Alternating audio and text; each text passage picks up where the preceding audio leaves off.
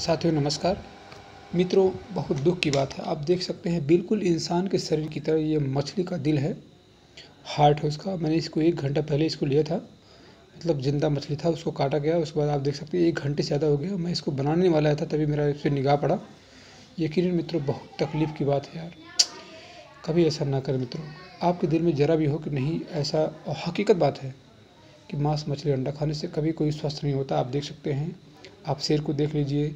जंगली किसी भी, आप किसी भी जानवर को देखिए जो मांस मछली ऐसा कुछ खाता हो या मांसाहारी हो, आप देख सकते हैं उसका जीवन काल कितना होता है। पंद्रह साल, बीस साल, इससे नहीं होता। इसलिए आपसे हाथ जोड़कर निवेदन है, आप ज़रा भी इस गलत फहमी ना रहें कि मांस मछली खाने से जीवन बहुत लंबा होता है। बिल्कुल गलत बात है। ये मात्र एक प्रोटीन सोर्स है।